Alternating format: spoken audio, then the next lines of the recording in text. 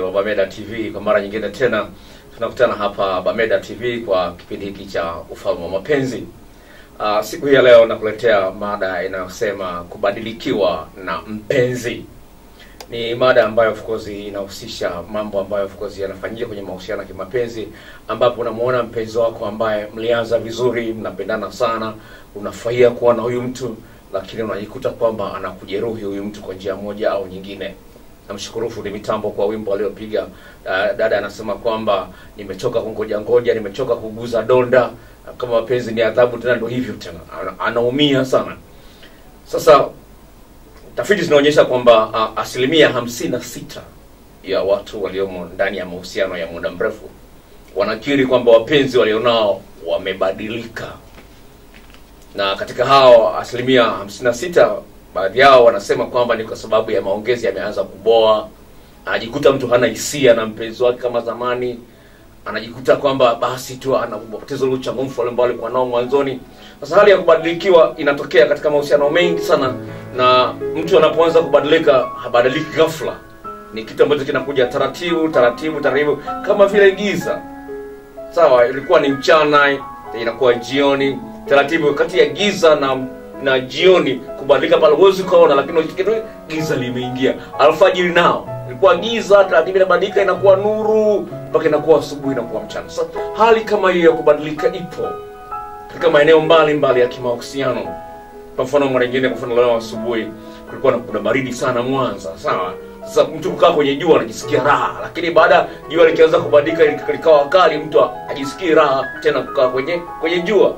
Sasa ni hali ambayo inakuja na inasababisha mtu anajisikia vibaya mpaka anaona hivi, kwa nini niko kwenye uhusiano? Anapata shida.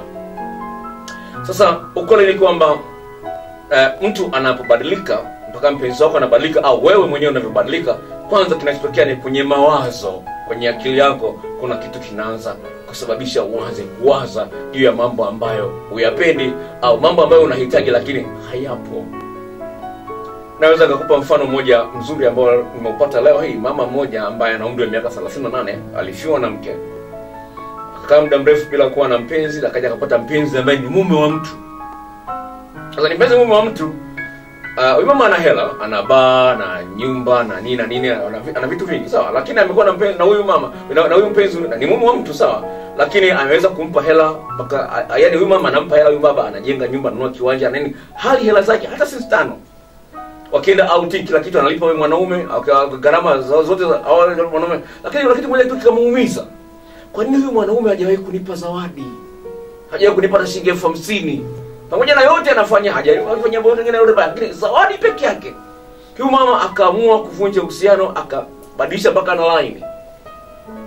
Sasa leo ananipigia simu, ananiambia, ananiambia daktari, hivi kweli alichofanya ni sawa vipi? Anipa akanipa story ndefu ya mazuri ambayo baba amefanya, na mpaka sasa hivi baba anampenda, akiugua anamhudumia na nani, lakini kitu kimoja tu, kama hajawahi kupewa zawadi na huyu mwanaume, hicho peke yake kimemsumbua akili kiasi ambacho anatamani kuvunja uhusiano huu. Sasa kuna mtu atakubadilikia kwa sababu ya ufahamu wake mdogo juu ya mahusiano ya kimapenzi. Kosa hizo akawa dogo, lakini yeye akalikusa akaanza kukubadilikia, lakini hujui kwamba unabadilikiwa. Ndio kuna mazingira mbalimbali ambayo yanapelekea mtu kubadilikia, na ningependa kuzungumza wazi kabisa. Toka nimeanza ofisi yangu elfu mbili na sita mpaka leo, na hakika kabisa watu wengi sana wamebadilikiwa na wapenzi wao na wanaumia. Kama nilivyotangulia kusema ni kwamba mtu anapoanza kubadilika anakuwa na kitu ambacho kimeingia kwenye akili yake. Sasa mnapoanza mahusiano yenu ya kimapenzi, ile furaha mliokuwa nayo, uchangamfu ulionao ni kitu cha msingi sana cha kukiangalia kama kioo. Unapoona kwamba kitu kiko sawa, lazima ufahamu kwamba lazima hiki kitu kiwekwe sawa, kama vile nyumba. Unapoona kinavuja maanake kuna kitu kuna tundu kwenye kwenye kwenye kwenye kwenye kwenye kwenye, kwenye paa lazima lishughulikiwe. Usipoziba ile tundu utashindwa kuishi kwenye hiyo nyumba. Mtazamaji wa Bameda TV, ningependa kuambia wazi kabisa, huwezi ukajenga uhusiano utaendelea utakaoendelea kuwa mtamu iwapo hamjatengeneza mazingira ya uwazi na ukweli. Napozungumzia uwazi na ukweli, kwamba jinsi gani kila mmoja katika uhusiano uliomo anajiona anao uhuru wa kuhoji mambo ambayo hayaelewi, mambo ambayo yanampa shida kwenye akili zake. Ni jambo la msingi sana uweze kuwa na values vitu ambavyo unavithamini vitu ambavyo usingependa mpenzi wako avipuuzie avifanyie kazi. Kwa hiyo iwapo umetengeza mazingira ya uwazi na ukweli kwa hiyo inakuwepo nafasi nzuri ya nyinyi kujadiliana pale ambapo unaona tofauti. Shida ni kwamba unapoona tofauti alafu ukakosa uhuru wa kuizungumzia tofauti ile ili kuiweka sawa ile tofauti itasababisha mawazo kwenye akili yako. Tofauti ambayo mpenzi wako anaiona kwako sawa itasababisha mawazo kwenye akili yake. Kwa mfano ulikuwa umezoea kuvaa vizuri unapendeza kweli uka, ukaacha kuvaa vizuri kama ulikuwa unavaa zamani. Manake mtu alikupenda kutokana na jinsi unavyovaa na um- umaridadi ulionao. Ukaacha hicho kitu. Mwenzio akakosa ujasiri wa kukuambia nipigiwa simu dada moja leo. Na mpenzi wangu mwaka mzima lakini hajatairiwa. Dokta naogopa kumwambia. Unaona yeye anasema anasema na mpenzi wangu lakini hajatairiwa. Naogopa kumwambia. Mwaka mzima amekosa ujasiri wa kumwambia. Jambo ambalo linamkosesha raha. Sio kwamba yule mwanaume hajui kwamba ile jambo sio zuri anajua. Lakini huyu mwanaume kwa sababu ah, mwanamke anampenda sawa lakini amekosa ujasiri wa kumwambia anakosa raha. Sasa hali hii ikiendelea ndani ya nafsi yake kwa muda mrefu huyu mwanamke kuchepuka akutana na mtu ambaye anamuona ni mzuri zaidi inakuwa ni rahisi. Kwa hiyo mabadiliko yanaanzia kwenye akili yako. Kuna kitu kwenye akili yako hakiko sawa. Mpenzi wako ana hamu sana awe ana uhuru wa kupekua na kushika simu yako. Lakini wewe ukawa mkali ukasema iwezekani dada mmoja kanipigia no, alipigia usiku huyu dada ana matatizo ya ugonjwa wa kisasa hiv sawa? Aliniomba nimtafutie mchumba nikamtafutia mchumba yuko dar es salaam akamtafutia mchumba akampata yule mchumba. Wakaanzisha mahusiano yule kaka akaja mwanza wakaonana wa, basi wakaanza mahusiano akaenda dar es salaam mara ya kwanza yule dada akarudi na nani nini. Sasa shida ni kwamba alipoenda dar es salaam akakuta mwanaume hataki simu yake ishikwe. Akahoji hiyo jambo akamwambia "Ah, hayo mambo ya kizamani. Akasema mbona mwanzoni nilikuwa unanipa uhuru kushika simu yako? Akasema hayo mambo ya kizamani hii simu simu kama ya ni ya kwangu tu unaweza kuona ni kitu kidogo tu. Ni kwamba mtu alikuwa amezoea hali fulani lakini anakuta mwenzie amebadilika anapohoji mwenzie anamgeuzia kibao anamwambia bwana hapana sio sahihi hilo. Wakati mwanzoni lilikuwa ni jambo ambalo linakubalika lakini afikia hatua ambapo halikubaliki huyu mwingine anakuwa na huzuni. Nifanye nini? Kwa hiyo ni kitu kidogo ile tofauti ndogo ambayo ipo katika mawazo ya mwenzio inasababisha atoe tafsiri tofauti na ile ambayo ungetegemea aitoe. Sasa inaweza kuwa wewe unamwona mpenzi wako amebadilika au mpenzi wako anakuona wewe umebadilika. Sasa iwapo hamna mazingira ya uwazi na ukweli utashindwa kuhoji mambo utashindwa kuuliza mambo utashindwa kuomba ufanyiwe vitu fulani na vile vitu kwa sababu umeshindwa kuomba viko ndani ya akili yako au viko ndani ya akili ya mpenzi wako na vinasababisha taratibu aanze kubadilika. Kama nilivyozungumza kubadilika kwa mtu kunakuja taratibu sana kama vile giza kubadilika kwa, kuwa nuru au nuru kubadilika kuwa giza ili usiku uweze kubadilika mchana kuna process inapita na time inakwenda pale sasa lazima uwe makini sana sana katika uhusiano uliomo ni kwamba usiwe unakaa na jambo ambalo hulipendi kwenye akili yako kwa muda mrefu. Unaweza kuwa na jambo ambalo hulipendi kwa mpenzi wako au mpenzi wako halipendi kwako lakini amekosa ujasiri wa kukuambia. At least wewe una matumaini kwamba ndio nitafute nafasi ya kuongea naye. Yani yani sio kwamba nimekalia kimya ndio mwisho. Ah, ah. natafute mahali gani pa kuanzishia mada ili nilizungumzie hili. Kwa hiyo at least unakuwa na matumaini. Lakini pale ambapo unasema bana hili siwezi kumwambia au siwezi kumwambia kama yule dada anasema kwamba mpenzi wangu hajatairiwa lakini naogopa kumwambia sasa yani tayari ameshajifungia mlango yeye mwenyewe. Sasa yeye ndiye atakayeanza kubadilika. So kwa hiyo katika uhusiano uliomo lazima ujenge nidhamu ya kuhakikisha kwamba mazingira ya uwazi na ukweli yanakuwepo ili mpenzi wako asije akapata sababu ya kuwaza kitu tofauti na kile ambacho ungependa yeye akifanye. Sasa kubadilikiwa na mpenzi wako sio kitu kizuri. Huyu mtu kweli unampenda huyu mtu kweli unamjali huyu kweli mtu unamthamini na usingependa uhusiano ufe. Lakini mpenzi wako amebadilika. Sasa ili uweze kumsaidia kuelewa jinsi gani hiyo inakuhuzunisha jinsi gani hiyo inakuumiza. Ni muhimu sana sana ujiangalie wewe mwenyewe kwamba hivi ni kweli kwa sehemu kubwa ninachangia katika furaha na amani na mafanikio ya mtu. Iwapo wewe mwenyewe ni mvivu katika maeneo mbalimbali au kuna maeneo ambayo mpenzi wako alisha kuambia fanya marekebisho hujarekebisha iwapo wewe mwenyewe huwezi kumsaidia mwenzio ambaye amebadilika kukuzidi wewe kubadilika so, kama wewe mwenyewe umebadilika lazima kwanza wewe mwenyewe kwanza ujishughulikie mwenyewe ili mpenzi wako naye aone sababu ya kubadilika. Pamoja na magumu yote yaliyomo kwenye mahusiano yake mapenzi kwa watu ambao watakuwa tayari kulizungumzia penzi lao na kutafuta njia ya kulijenga na kulipamba penzi lao wana nafasi nzuri sana ya kufurahia uhusiano waliomo sizungumzi hadithi za paka na panya. Mimi kama mtu ambaye nimeoa na mke nafahamu lakini cha msingi ambacho na, najivunia kwacho ni kwamba furaha katika ndoa yangu inaendelea kuongezeka sio inapungua. Kwa sababu natafuta sababu kila siku ya kumfurahisha mke wangu na mke wangu anajitahidi kwa kiasi ambacho uwezo wake alionao. Lakini kuna kitu ambacho kinasababisha watu wengi wabadilike kitu ambacho kwa kiingereza wanaita negativity. Negativity ni ile hali ambapo unaona mapungufu ya mpenzi wako unaona madhaifu ya mpenzi wako halafu unakuwa una zero in yani unakuwa una focus sana kuangalia yale mapungufu aliyonayo badala ya kuangalia jinsi gani ya kumsaidia yapungue yapunguke yale mapungufu. Sawa. Mfano mpenzi wako uh, ni mvivu sana katika kupokea simu kwa wakati. Ni kitu ambacho unajua kinakukasirisha kinakuudhi. Lakini umeshamwambia mara mbili mara tatu lakini bado amekuwa anarudia vile vile.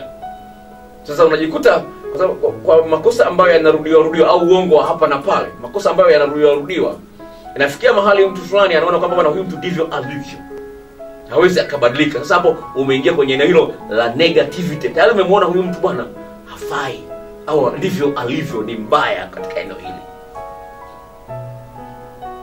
sasa unapokuwa umefikia kwenye eneo hilo la negativity ya kuona mwenzio kwamba ana makosa mengi na nini na nini na nini na nini, wewe ndio utakayeanza kumbadilikia mpenzi wako. Nashangaa sana ndugu mtazamaji. Kesi ambazo nakutana nazo ambazo aidha mwanamke amemfumania mwanaume au mwanamke amemfumania mwanaume zimeanza kuwa nyingi sana. Yaani katika mwaka huu nimekutana na kesi nyingi kuliko miaka yote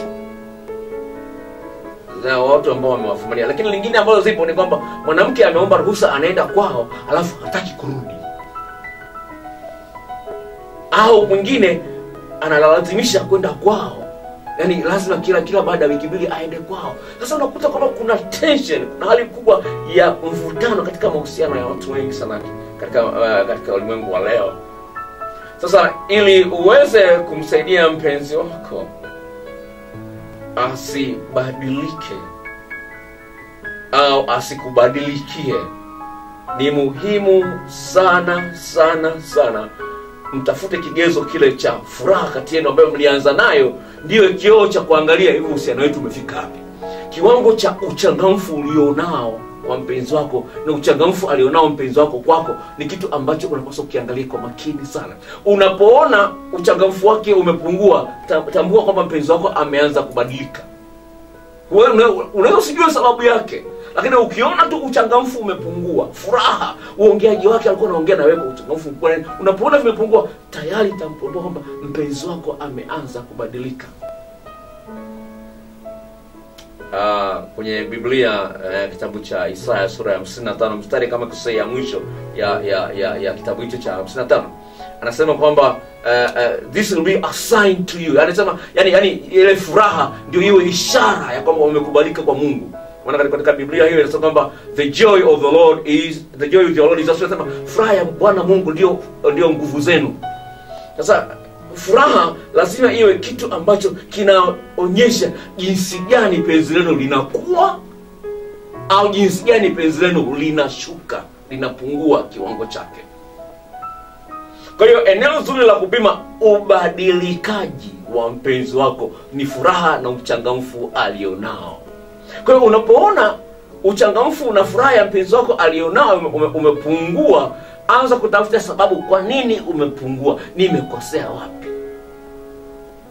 Kitu gani hakiko sawa?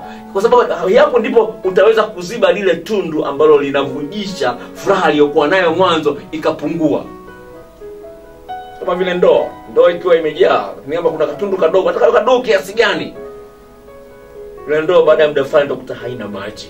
Katundu kale kadogo sana. Sasa kadhalika kama uhusiano kimapenzi usipokuwa makini kuangalia no kuna hali fulani ambayo haiko sawa. Lazima lazima of course mtaenda mahali pabaya sana. Mke wangu akiwa ameniudhi anajua ameniudhi utamwona tu anabariki kosea anavyokuangalia unajua kwamba anajua kwamba kweli anajua amekosea. Ni mwepesi wa kuomba radhi ndio jambo ambalo nalishukuru akiona kuna kitu ambacho kiko sawa atakuwa mwepesi sana wa kuomba msamaha. Sasa ni kitu ambacho kipo kwa sababu wanadamu wote hakuna mtu ambaye hakosei. Sasa iwapo kuna kosa ambalo limesababisha mpenzi wako asifurahi kwa nini usilitafutie solution mapema? Ili asiendelee kubadilika. Sababu kama utashindwa kuelewa kwa nini mpenzi wako amekasirika au hana furaha ana huzuni kama alivyo kama utashindwa kuelewa na kumsaidia huzuni ile au ukosefu wa uchangamfu uondoke basi kwa kadri mnavyoendelea mbele ndivyo hali inakuwa mbaya zaidi. Kama vile nyama. Nyama ukiweka kwenye friji haiozi, lakini ukiweka kwenye uh, lakini ukiweka nje baada ya muda fulani unakuta imeharibika, ime- haifai tena. Kwa hilo ni la kwanza.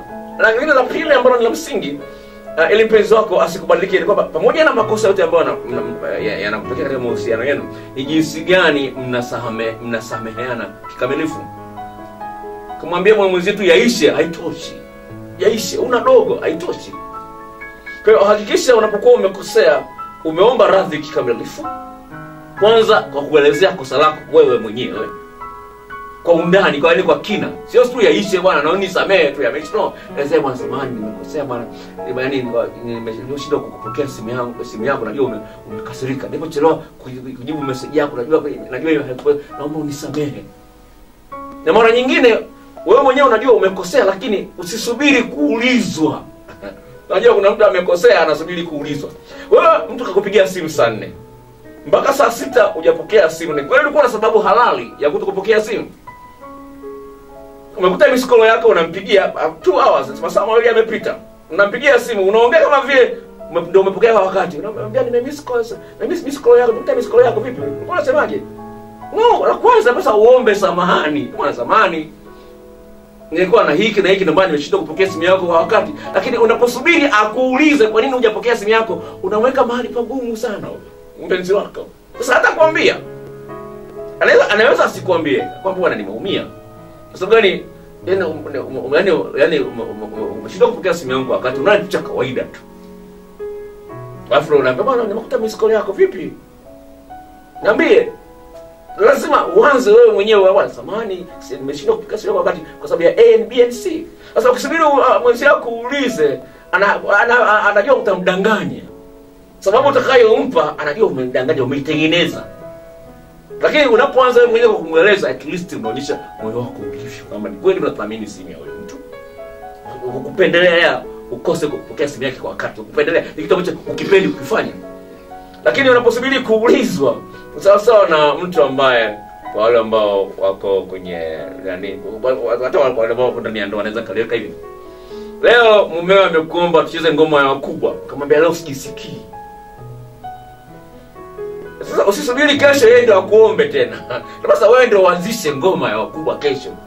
Usisubiri kama yeye akuombe kwa sababu hajui kile utajisikia ujisikia hakuna mtu ambaye anafurahia kukataliwa sasa ili uonyeshe unajali usisubiri kuombwa.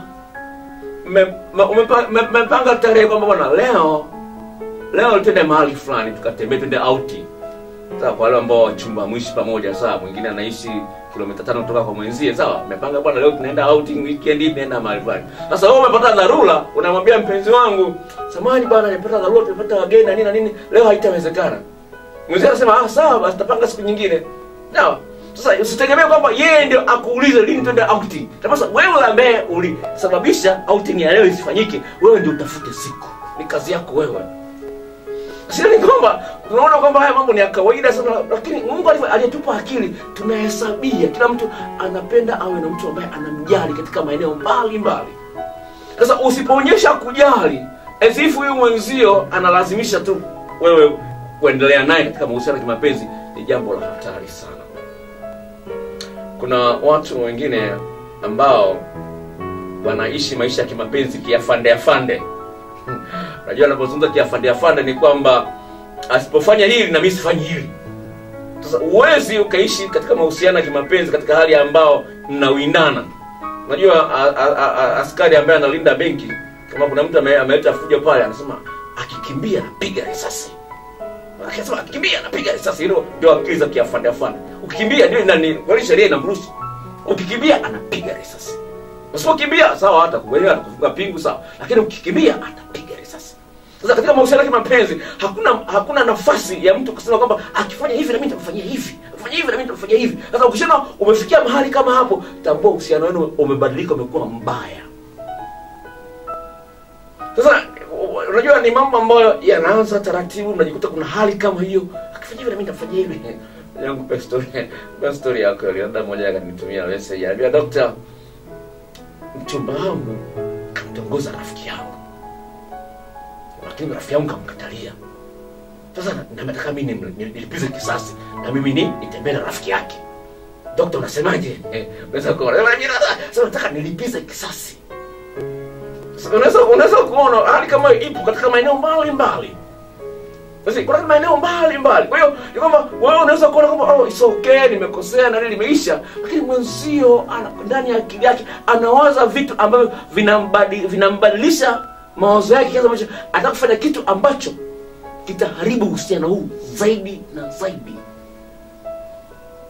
Kwa maeneo mengine ndugu mtazamaji na nachotaka kuambia ni kwamba usipokuwa makini kwenye uhusiano wako makosa yale unayofanya awe ni madogo au ni makubwa huwezi ukajua mwenzio anatoa tafsiri gani ya kosa ambalo umelifanya. Tafsiri anayoitoa ndio inasababisha yeye akasirike akuone wewe ufai akafanya mambo ya ajabu.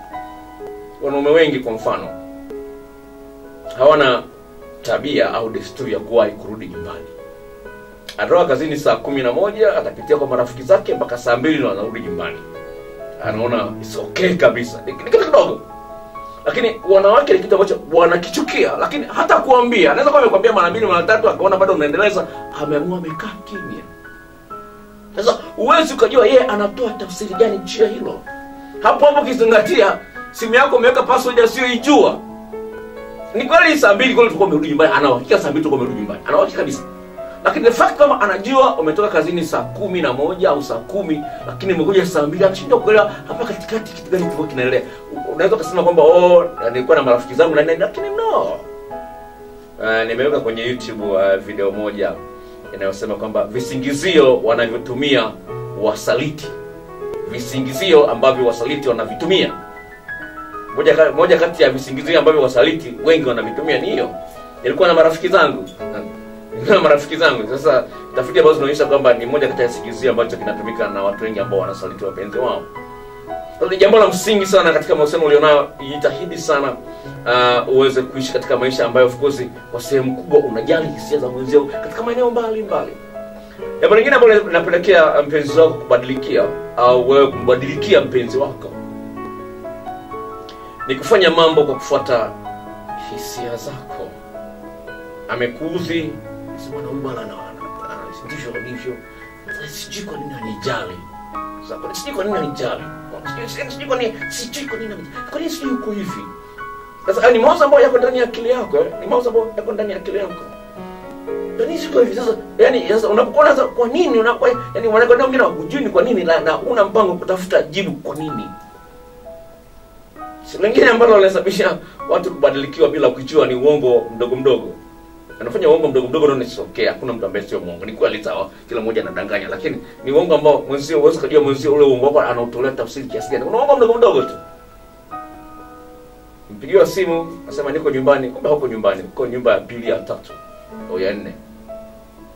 Kumbe mwenzio yuko nyumbani ameshafika pale nyumbani haupo nyumbani kweli unamwambia niko nyumbani kweli atote kwa nyumba ya jirani hata alikuwa anasogona na marafiki zake nani hakuwa anachafuka lakini at least ni wapo mdogo mdogo lakini sasa itafikia mahali mwezo anaanza kufikiria hivi ni mara ngapi huyo ananidanganya Unaona, unaona sasa hivi mara ngapi wanadanganya? Maana kama amedanganya hapa inawezekana kuna maeneo mengine ambayo anadanganya ambayo sijayagundua. Hili nimeligundua. Lakini mangapi ama ananidanganya? Unaweza kwamba ni mbegu ya aina gani umepanda kwenye akili ya mwenzio. Kwa kadri anavyoendelea kulifikiria, inaendelea kusumbua kwenye akili yake na anaanza kubadilikia.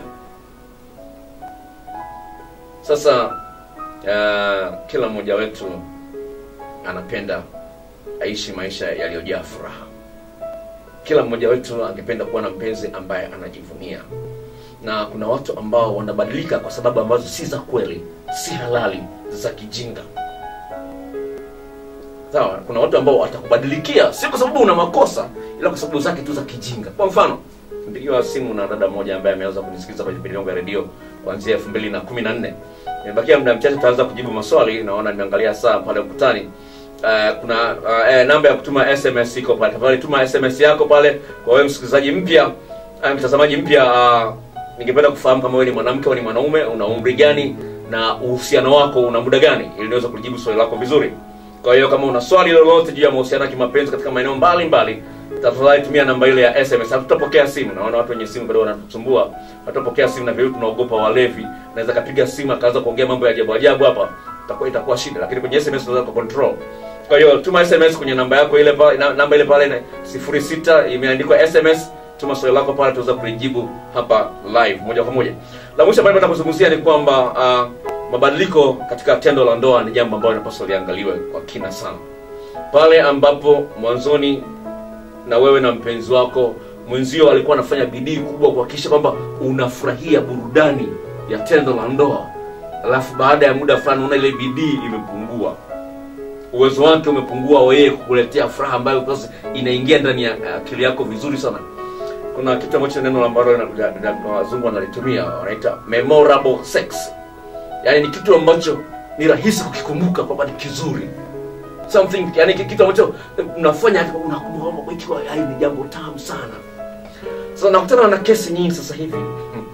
Za wanawake especially. Sawa nakutana na kesi nyingi sana. Za wanawake ambao wako ndani ya ndoa. Wamewachepusha wamechepuka wame- nje ya ndoa na wamechepuka na mtu ambaye hajaoa wako tayari kuvunja ndoa zao. Hizo kesi zimeanza kuwa nazo nyingi za wanawake ambao wako ndani dakika moja anitumia message. Asema bwana huyu mwanamke mume wake ni tajiri. Mimi sina uwezo lakini nataka avunje nyumba yake ndoa yake aje aite mimi ni muoe mimi sina hela. Unataka mimi sina hela? Ni eneo ambalo nime, nime, nime, nime, nimeweza kulishtukia.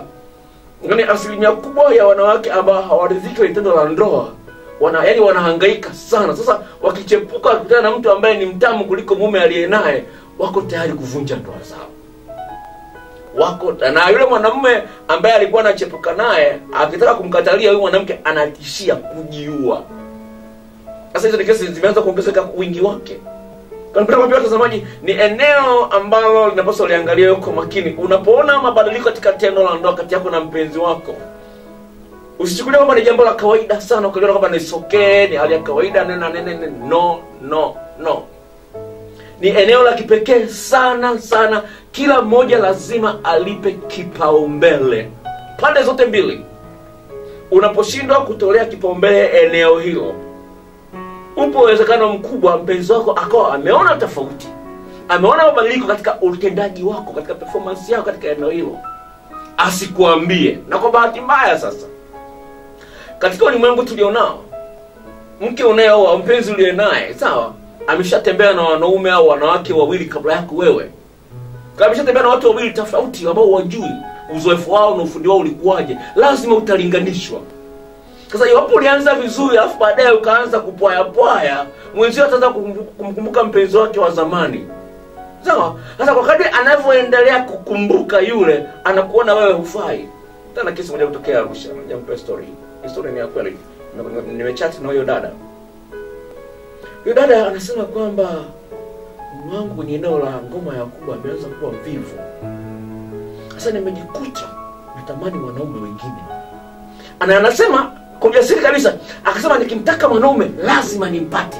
Anazungumza huyo dada sawa? Ana miaka ishiri na tano tu huyo dada sawa?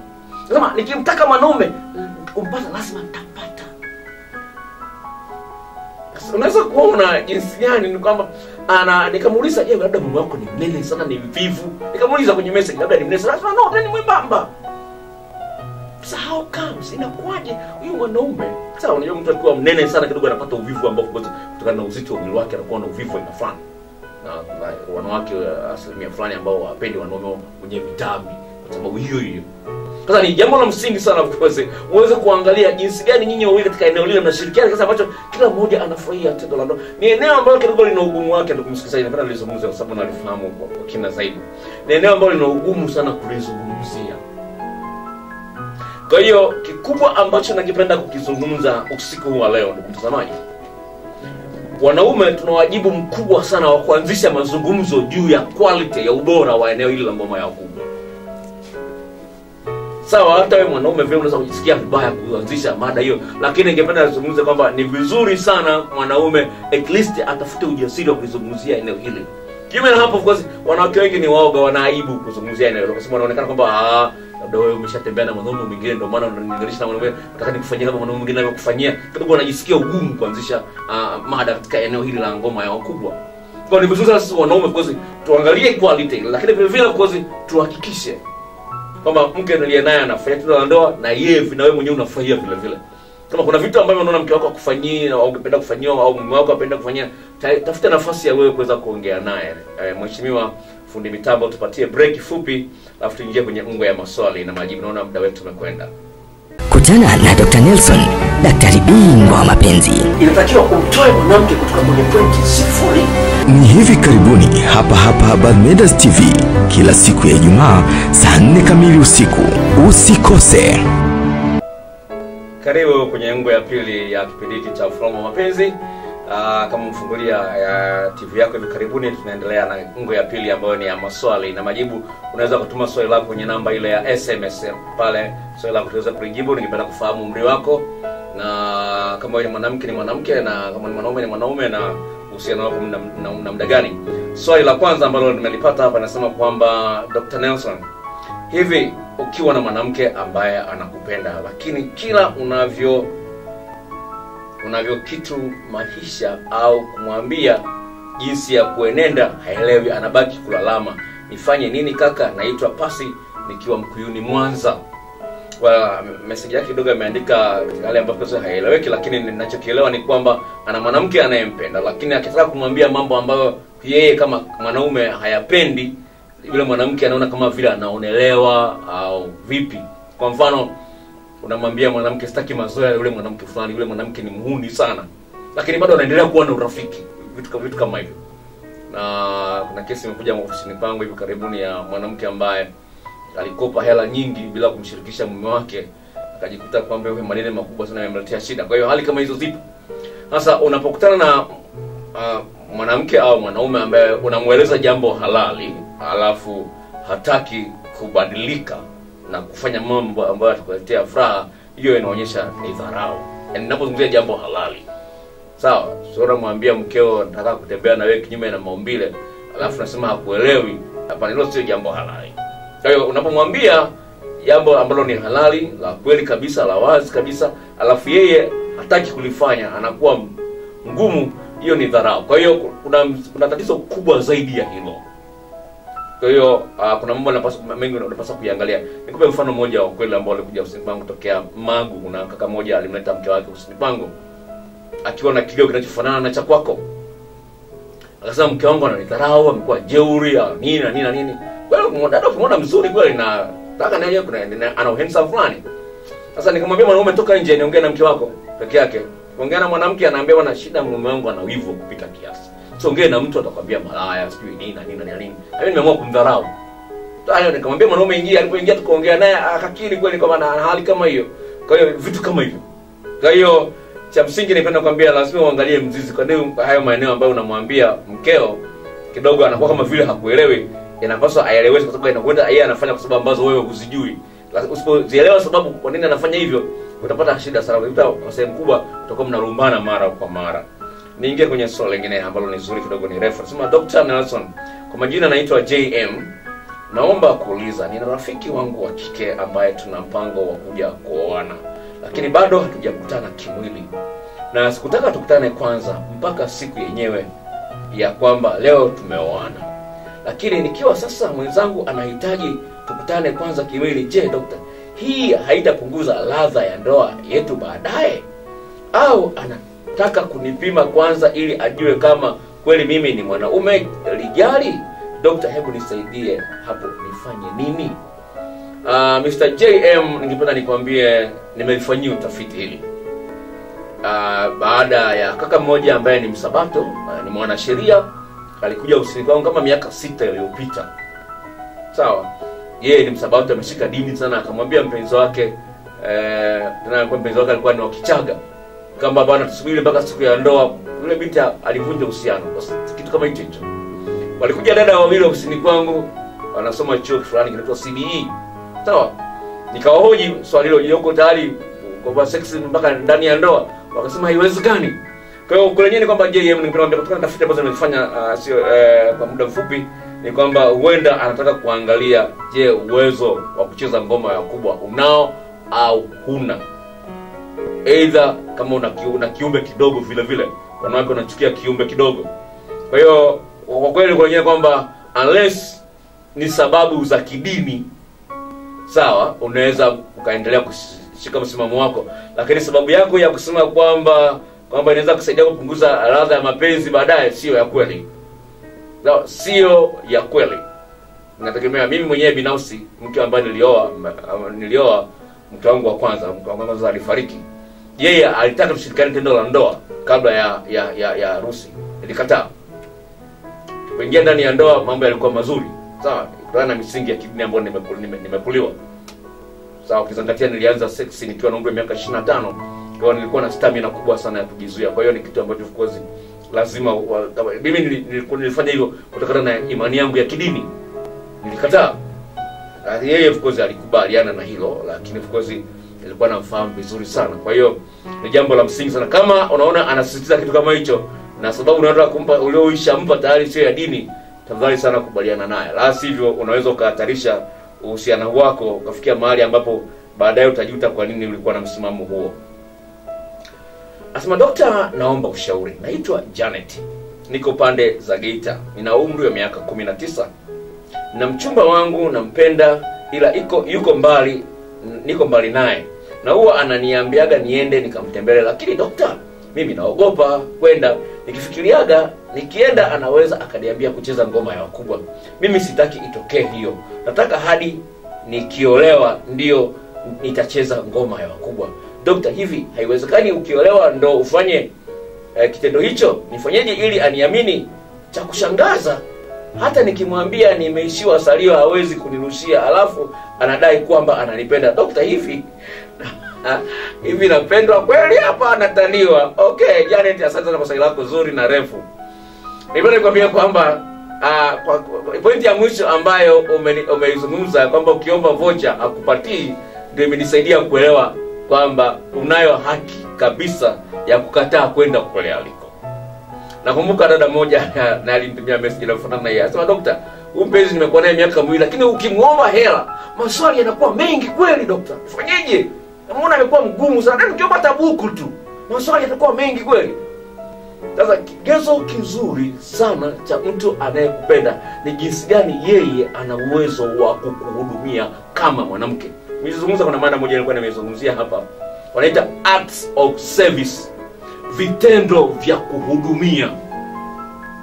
Sasa ukimwona una mpenzi ambaye uwezo wake wa kuhudumia wewe ni mdogo sana au mpaka wakulazimisha lazimisha tambua huyo hakupendi. Na ukiingia ndani ya ndoa na mtu kama huyo utateseka. Sasa ukiacha lile la ngoma ya wakubwa hilo peke yake linamdisqualify yaani kama ni max amepata za chini sana hawezi kufaulu kwenda kuingia ndani ya ndoa. Hilo peke yake. Kwa hilo achana hilo la kucheza naye ngoma ya kubwa lakini hilo peke yake peke yake la kuto kukujali na na kushauri Janet uh, kama anaendelea na hali kama umri wako bado ni mdogo sana miaka 19 tafiti zinaonyesha kwamba utakuwa mahali pazuri sana ukiingia ndani ya ndoa kwenye umri miaka 22 kwa hiyo nipenda kwambia Janet umri wako bado ni mdogo sana. Una mambo mengi sana ya kujifunza ili uweze kuwa mke bora. Okay niingie kwenye sms nyingine hapa. Okay. Uh, naona maswali yamekuwa mengi kidogo leo nashukuru kwa watazamaji kuweza kuchangamka. Nasema anaitwa jafet na umri wa miaka 19 dokta. Kuna msichana anakatazwa kuwa na mahusiano na mimi lakini hataki kuachana na mimi. Na kila nikimbembeleza asiachane na mimi anakubali kwa nini? Meseji yako umejichanganya sema naitwa jafet kuna msichana anakatazwa kuwa na mahusiano na mimi lakini hataki kuachana na mimi. Na kila nikimbembeleza asiachane na mimi anakubali. Kwa nini dokta? Sasa nashindwa kuelewa. Ameambiwa asiachane, ukimwambia uh, ukimwambia asiachane na mimi anasema nimeshindwa kuelewa. Sms yako itume tena niweze kuelewa. okay eh, nipo kwenye ndoa huu ni mwaka wa kumi. Dokta mke wangu anakopa madeni haniambii wadeni wake wakiniambia na anachukia. Tatizo ni nini? Afadhali ndugu yangu amekuja na kitu ambacho nikizungumza kwenye mada. Okay ni hivi. Unapoona mtu amefanya makosa ukawa na ushahidi wa makosa aliyoyafanya alafu unamwonyesha kosa lake anakuwa mkali. Huyo ni mtu wa hatari sana. Naomba nisikize rafiki yangu. Na, na watazamaji wetu wa Bameda TV usiku wa leo ni kwamba ili uweze kuwa na uhusiano unaoufurahia lazima iwepo hali ya maelewano. Kusipokuwepo na hali ya kutokuelewana itakuwepo hali ya mvutano ambayo haileti furaha kwa mtu yoyote yule. Kwa hiyo unapokuwa na kitu halali ukizungumza lakini mwenzio anakuwa mkali tafadhali sana na wewe kuwa mkali. Shida watu, watu wengi unakuwa mpole katika jambo ambalo unaona kabisa ni la haki linapaswa lifanyiwe kata lazima mabadiliko yafanyike. Alafu una, unaogopa kwamba atakasirika sijui atakunywa sumu sijui nini. No! Unayo haki ya kufurahia mahusiano yako kila siku. Sasa usiruhusu mtu yoyote yule sawa usiruhusu mtu yoyote yule kwa sababu ya kulialia ya kulalamika nini nani aendelee kufanya vitu ambavyo vinakuumiza. Hata mwenyezi mungu haruhusu kitu kama hicho. Afurahishi na jambo kama hilo. Biblia inasema kwamba kwenye kitabu cha mithali sura ya kumi na tatu mstari wa 28 kama nakumbuka vizuri. Ya mithali 13 mstari anasema hivi. Afichaye dhambi zake hatafanikiwa bali aung- aungamaye dhambi zake na kuziacha atapata rehema. Sema afichaye dhambi zake hatafanikiwa sasa ka- ka- ka- ka- ka- ka- katika- eh, eh, eh, mtazamo huo huo ni kwamba ukimwona mpenzi wako hataki kosa lake aliweke wazi na alishughulikie hamwezi kafanikiwa kuishi maisha ya furaha kwa hiyo eidha uwe mkali na wewe ili yeye aone umuhimu wa kubadilika au uendelee kuteseka na madeni kwa sababu ni kweli anadaiwa na hao watu kweli wamekwambia ni kweli wanamdai sio kwamba wamemsingizia sasa kwa nini hataki atakufilisi rafiki yangu sasa alafu sasa anakopa hela hajakushirikisha. Hujui hizo hela zimeenda wapi. Kama anajenga nyumba kwao. Ili akuache wewe akaishi kwenye nyumba yake kama anajenga nyumba yake peke yake. Kwa kuna kitu anakifanya ambacho hataki ukijue. Kikubwa. Ambacho huko mbele kitakuletea shida sana. Kwa hiyo kishughulikie mapema kabla hujatumbukia kwenye shimo ambalo utashinda kujichomoa wewe mwenyewe. Alright okay. Asante kwa watazamaji ambao wanaendelea kutuma message hapa okay anasema dr pole na majukumu. Dr mimi naitwa rahima nina umri wa miaka 24 natokea mwanza. Nina mpenzi wangu ananifosi sana kucheza ngoma ya kubwa tukiwa mahusiano yetu yana wiki mbili.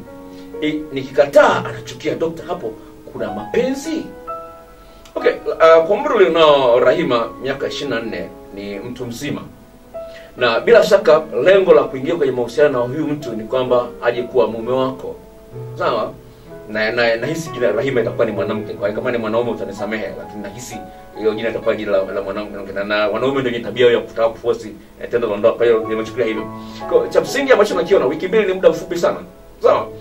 Na hujamsoma huyu mtu. La kwanza ukipata ujauzito anaweza akakutupa.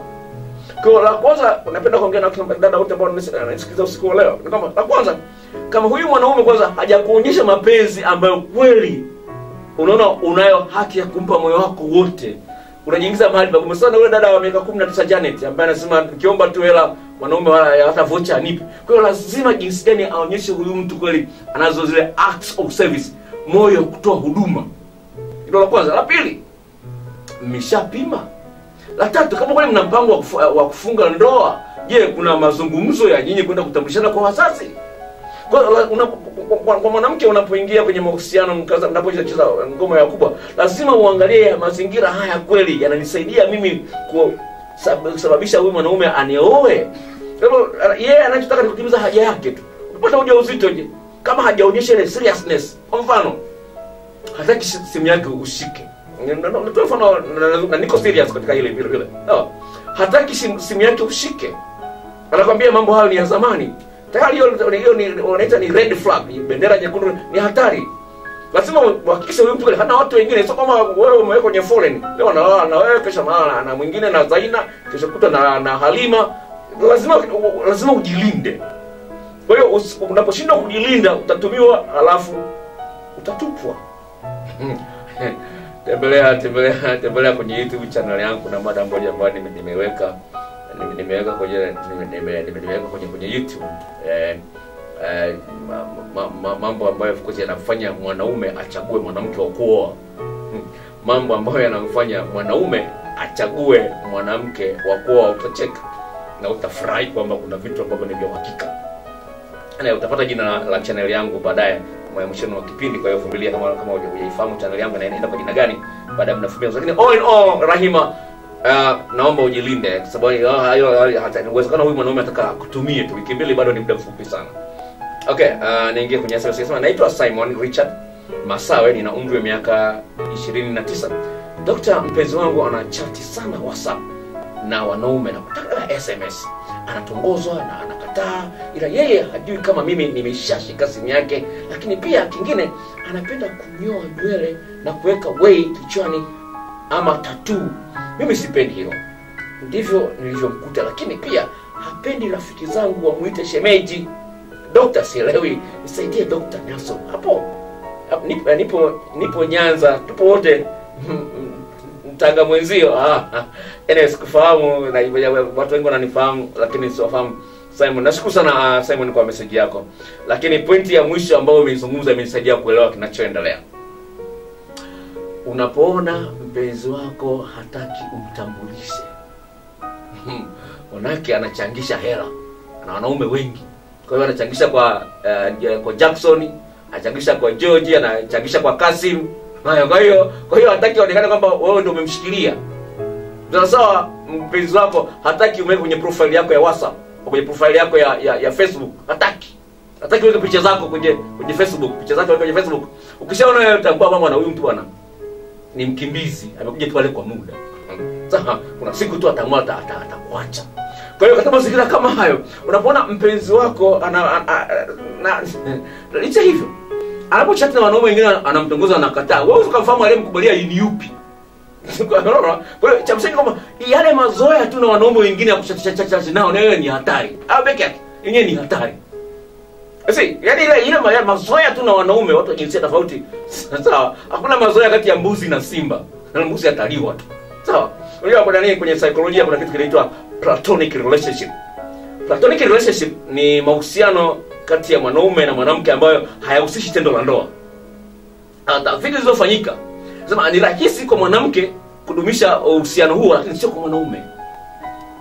No, anasema ni rahisi kwa mwanamke kweli kuwa na rafiki wa kiume bila tendo la ndoa, lakini sio kwa mwanaume. Kwa maneno mengine ni kwamba huwezi mwanaume akaanzisha mahusiano na mwanamke ya muda mrefu bila mwanaume kuja kuomba ngoma ya wakubwa, sio rahisi na tafiti zimefanyika katika eneo. Kwa hiyo napenda kwambia kwamba lione kama hilo jambo la hatari na anza kuwa mkali. Mwana mwana kama kama unataka mimi nikutambulishe kwa marafiki zangu, basi naomba nikuache tu wewe uendelee hivyo, kwa sababu naona kwamba unaona aibu kuwa na mimi katika mahusiano unajisikia aibu, unaona kama mimi sifai, siko kwenye daraja lako. Kwa hiyo katika mazingira, jitahidi kuwa mkali, kwa sababu hapo- unaulinda moyo wako. Biblia inazungumza kitabu cha Mithali sura ya- ya 4 mstari wa ishirini na tatu sema linda moyo wako kuliko vyote unavyovilinda.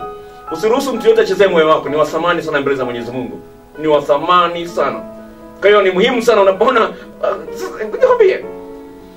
Ha- ha- ha- hajalishi mko ndani ya ndoa au unapokuwa na mpenzi wako alafu mwenzio anakuwa bize na simu ni jambo la kupigwa marufuku. Ni neno ambalo ni jambo ambalo limefanyia utafiti na wanasayansi wa map- wa- wa wa mapenzi. Inaitwa fubing p h u b i n g. Unaweza kutafuta kwenye kwenye google.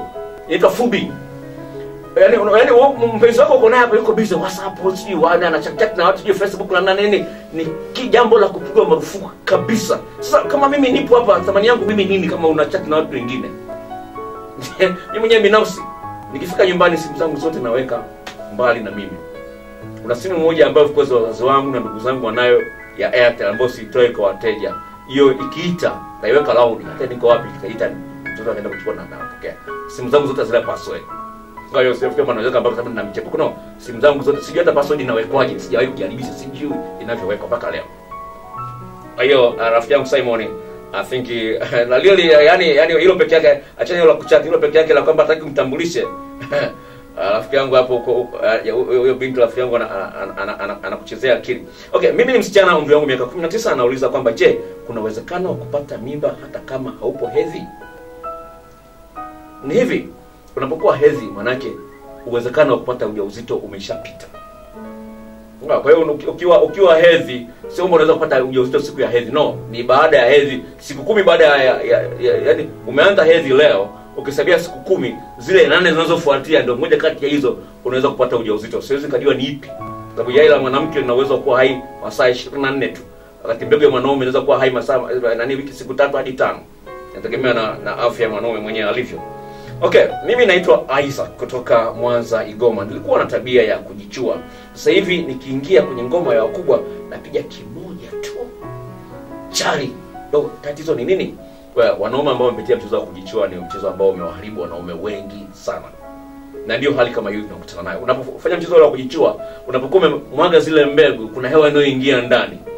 Ile hewa ikiingia ndani inakwenda kwa athiri mishipa ya fahamu ambayo inahusiana na nguvu za za kiume hapo unajikuta mwanaume anaishia goli kamoja ndani ya dakika mbili na hawezi kuendelea tena. Sasa inategemea na frequency ambayo umekuwa unaifanya. Unahitaji tiba maalum, ukija ofisini nitakuchaji shilingi elfu ishirini na tano takupatia tiba maalum inaweza kurekebisha hiyo hali na ukawa mwanaume wa uhakika.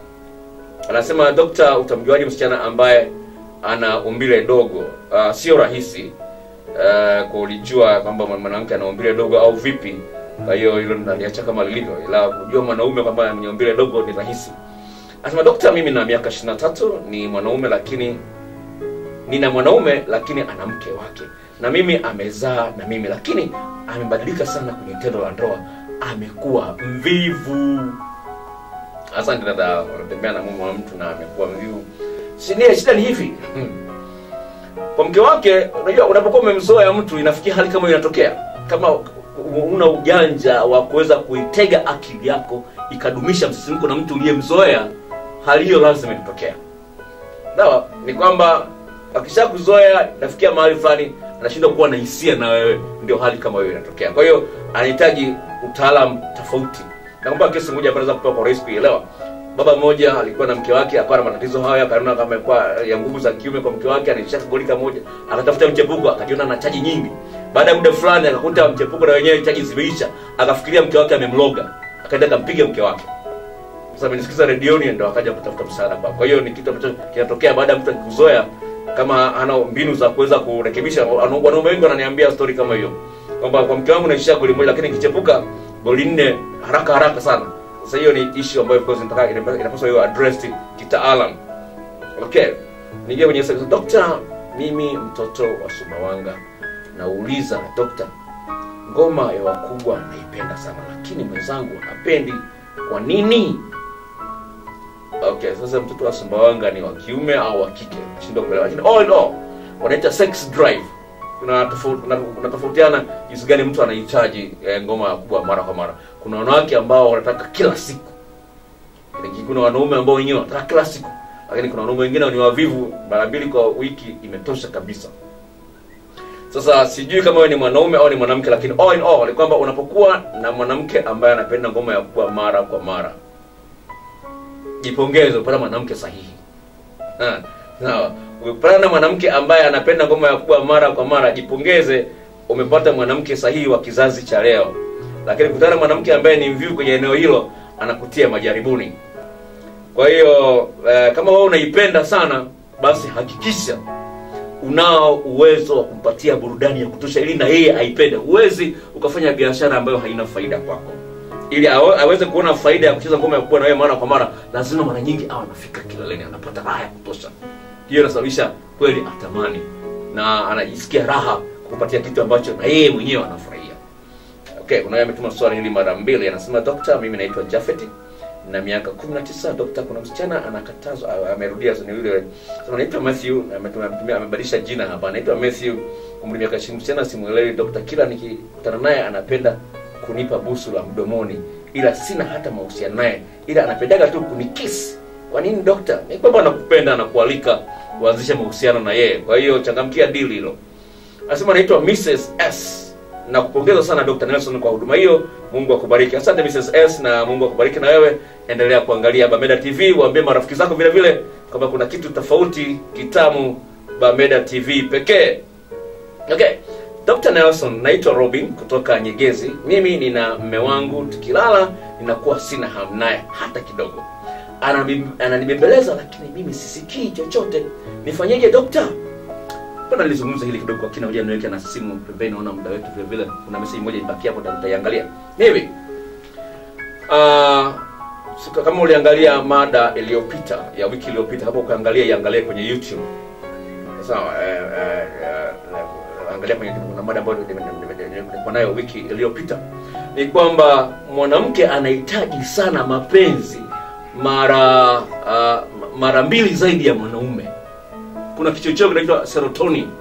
Ili mtu aridhike kichocheo hiki ni lazima kifanye kazi katika mwili wake. Sasa mwanaume ana serotonin nyingi mara mbili zaidi ya mwanamke.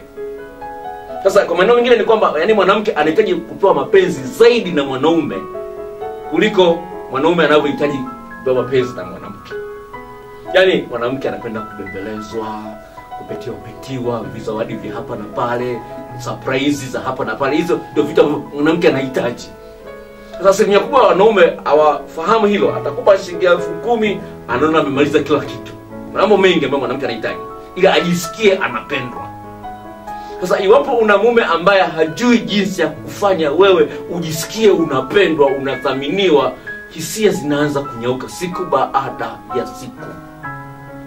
Sasa ndio hiyo unafikia kwamba mume wako anapokuhitaji unamuona kama vile ni kero.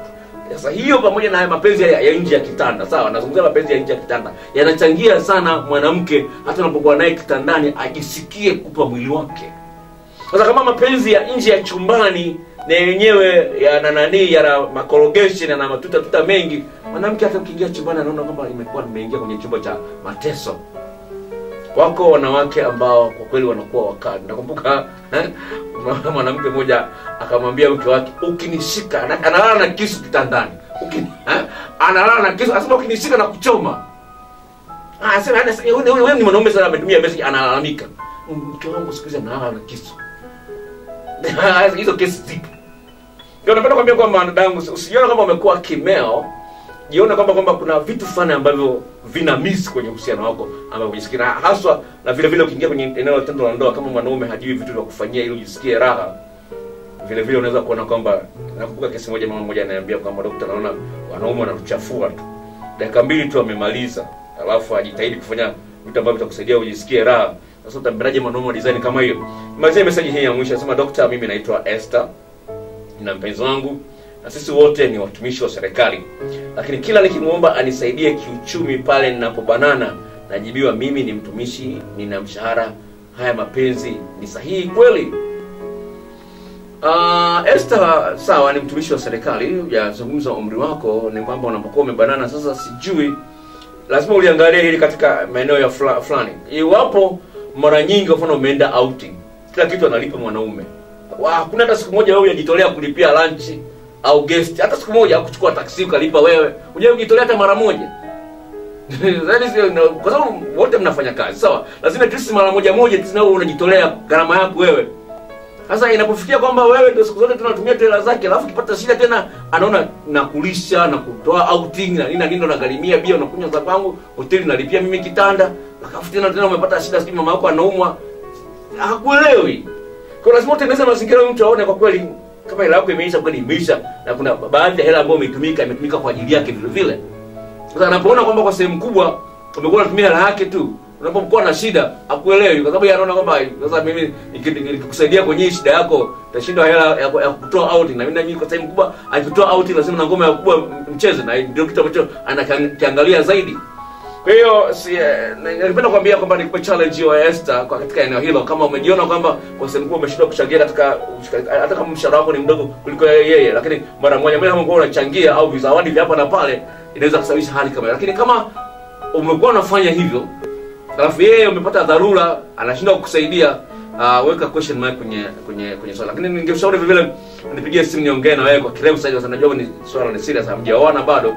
Lakini swala ambalo napaswa ushirikie muda wetu umetuishia Ibana nikualike tu mtazamaji, uh, mimi niko Mwanza, niko jengo la Nyanza, barabara ya Kenyatta. Jengo la Nyanza liko nyuma ya Benki Kuu ya Tanzania. Kama kama ufahamu, namba zangu za simu ziko pale 0754 03 99 94 0754 03 9994 ukitaka kutembelea youtube jina la- ambayo inabeba channel yangu ya youtube ni ile pale paul mwaipopo. Paul mwaipopo ndio jina ambalo nabeba chaneli yangu ya youtube na mada nyingi sana. Vipindi vyote ambavyo nimekuwa navyo hapa vyote zaidi ya huu ni mwezi wa pili uh, viko kwenye youtube vile vile. Kwa hiyo unaweza kuvipitia vipindi vya nyuma maana ya mapenzi nini wasaliti wakoje na mambo yote utayakuta yako pale kwa kiswahili kizuri tu. Na hivi kesho uh, nafanya shooting ya video mpya ambayo inasema kwamba sababu za mapenzi uh, yasiyodumu. Sababu za mapenzi yasiyodumu hizo ni, ni, ni video ambayo tutaishoot kesho tutafanya shooting kesho. Kwa hiyo kwenye juma tatu nitakuwa nimeiweka uh, tayari kwenye youtube. Kwa hiyo fuatilia channel hiyo ambayo inabeba kwa jina la pomo Mwaipopo kujifunza mambo mengi sana. Nashukuru sana uongozi wa Bameda kwa kutoa nafasi hii ya kipindi hiki ambacho ni kizuri kinaendelea kupata wafuasi wengi sana. Mungu ibariki Bameda TV na mtazamaji wetu nikutakia usiku mwema. Mpaka ijumaa ijayo nikutakia usiku mwema. Kwa herini Kutana na Dr. Nelson, daktari bingwa wa mapenzi. inatakiwa umtoe mwanamke kutoka kwenye pointi sifuri Ni hivi karibuni hapa hapa badmedas TV kila siku ya Ijumaa saa 4 kamili usiku. Usikose.